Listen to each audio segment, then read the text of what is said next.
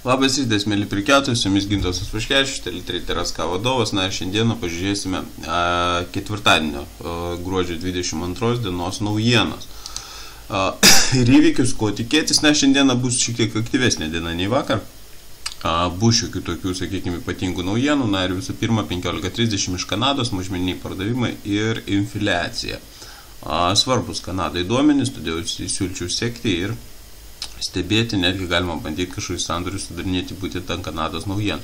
A, tuo pačiu metu išeis ir iš JAV kelios naujienos, čia daugiau su ilgalaikio naudojimo prekių užsakymais a, susijusios a, naujienos, na, a, taip pat išeis BVP ketvirtinis, tai vėlgi kaip augo JAV BVP, įsiponamas augimas daug didesnis negu prieš tai buvusio ketvirčio, iki 3,3 procentų. Būsto kainų indeksas 16 val. Na, o 17 val vėlgi su asmeniam pajamom ir išvaidom a, išeinantis duomenys. A, taigi turim net trys, sakiau, sakykime, svarbius duomenys, du iš JAV a, vien, ir iš Kanados vienu metu, tai vėlgi yra ką šiandien stebėti ir žiūrėti, kas liečia prekybą. A, taip, euras atšoko kažkiek, na, daug kas čia spėlioja, a, kiek jisai galėtų atšokti ir taip toliau, tačiau, jeigu pamenat, vakar aš minėjau, apie štai šią susidariusią figūrą, kad yra apirsta galva pečiai, kad figūra jau yra pramušta į viršų, na ir ta testinumas, tas jisai kaip ir manęs bent jau asmeniškai labai kažko ne, nestebina, viskas yra normalu ir, na, kad beveik, na, 40 punktų, bet jau nuo tos vietos, tai tikrai a, kaina buvo, buvo pakilusi, aš tikėjausi biški daugiau, iki 146 65, 1470, na, pažiūrėsim, gal net ir per šiandieną dar laiko yra, galėtų kaina atšokti. Na, su eurozona šiuo metu besibaiminama yra dėl Montepaš Italijos banko, tai yra trečias pagal dydį bankas pagal a, duotas paskolas Italijos vyriausybė ir suprantama jam bankrutavus.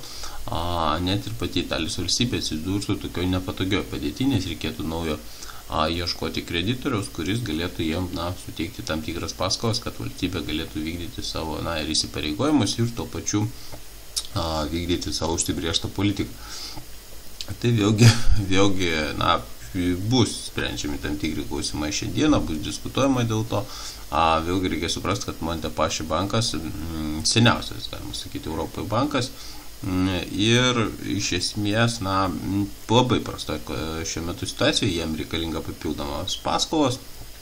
Ir, na, jeigu, aišku, jie gaus tas paskolas, suprantama, kad viskas ten bus a, ramu ir euras galėtų netgi a, toliau pratesti tą korekciją. A, USD JPI, nepaisant, sakykime, na, bendros tendencijos į viršų, keturių valandų grafike yra sudaręs šitokį gražų trikampiuką. Mano nuomonė tai bus greičiausiai kilimas tiesiog į viršų, pramuštą trikampiuką į viršų, bet vėlgi visko reiktų palaukti. A, taip, svaras doleris, čia vėlgi vakar buvo toks tarsi nedidelis kilimas, bet realiai daugiau čia buvo a, ne kilimas, o tiesiog kainos judėjimas vienoje vietoje. USD CHF vėlgi krintantis trikampį žemyn, kas bylotų galbūt apie tokią gilesnę korekciją, kita vertus kartais tos trikampius pramuša ir į viršų. Stebim situaciją, pramuš tiek, sakykime, tą pasipriešinimo liniją, tiek apatinę zoną, mes realiai galim jau daryti kažkokius sprendimus dėl tolesnio pirkimo ar pardavimo. USD Kanados doleris nesudarė tokį, sakykime, trenduką, tačiau dėl tų trendukų siūlyčiau neužsikabinti, nes šią dieną bus iš Kanados pusės nemažai domenų, taip, mažiliniai pardavimai, infliacija, iš JAF irgi bus e, nemažai domenų, tas pats BVP augimas, tai vėlgi reikia suprasti, kad mm, kad prekiauti šiandien USD Kanados doleris, kol kas galbūt ne pats e, protingiausias dalykas, reiktų bent jau išlaukti, kokios bus paskeltos naujienos arba bent prieš naujienas užsidaryti. Euras kadas, na, daro iš tikrųjų korekciją, vis tik tai atšoko nuo tos palaikymo zonos 1.3, nu, 8, 50, 3, 8, 40. Na, tendencijos, aišku, yra tendencijom, bet e, korekcijas irgi kas nuo karto turėtų padaryti. Taip, e, Zelandijos doleris, na, išėjo vakar tokie kontroversiški jų bendro vidaus produkto augimo duomenys, metinis lyg tai augo ne tiek daug, kiek planuota, a, kita vertus ketvirtinis išaugo truputį daugiau. Tai vėlgi, na, įdomus, įdomus toks momentas ir a, realiai nesakyčiau, kad nei tai labai blogai kažkas, nei tai labai gerai. Tačiau, na, žaliavinės valiutos jos kaip visada a, vis tik tai priklauso daugiau nuo pačių žaliavų kainų, nei nuo, a, sakykime, kažkokių tai a, kontroversiškų rodiklių. Na, nebent tie rodikliai būtų labai labai blogi arba labai labai geri. Australijos doleris šiandieną, na, iš tikrųjų jisai vaikšto, sakykime, na, jau, jau vyksta konsolidacija ties 07230 šiuo metu ir reikia suprasti, kad ta kaina ties, kuria vyksta konsolidacija, na, gali, gali iš tikrųjų ir toliau pratesti ir turėtų pratesti, bet jau mano nuomonė iki 07200 kaina tikrai nukris gal net nukris truputį žemiau, iki 0,7180. ir tendencijos bent jau išlieka tokios, kad, na, manau, po naujųjų metų mes pamatysim didelį dolerio a, brangimą.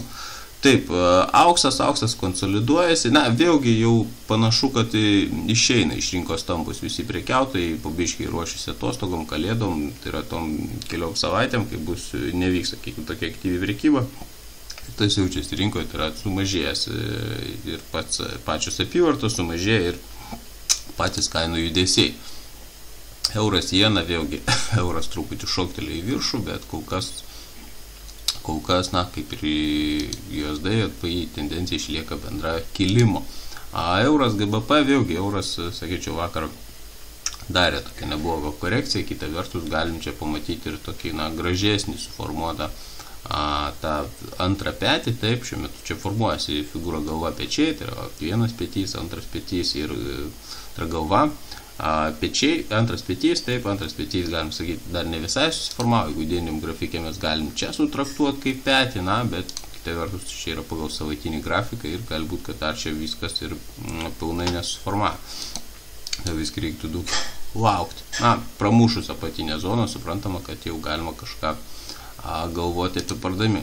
Na, o Šveicarijos frankas Japonijos jena mm, vakar iš tikrųjų vėlgi konsolidacija vyko, nebuvo kažkokių aiškių, na, labai panašu iš tikrųjų USD CHF, jeigu atkreipsi dėmesį, irgi trikampiukas, kažkas panašaus, tiek, kad, na, jau su ši dabartinė žvakė vyksta kažkokį pramušimas, taip? Na, ir suprantama, kad tas pramušimas jisai vyksta į viršų ir reikia žinoti, kad, na, Tai jeigu pramuša į viršų, tai bent jau, sakykime, kažkokias tai aukštumas greičiausiai mes tikrai pakartosime, na, o tai yra maždaug apie 50 punktų nuo dabartinės kainos. Kągi, tiek naujienų šiandieną, visiems linkiu geros prekybos ir sakau iki.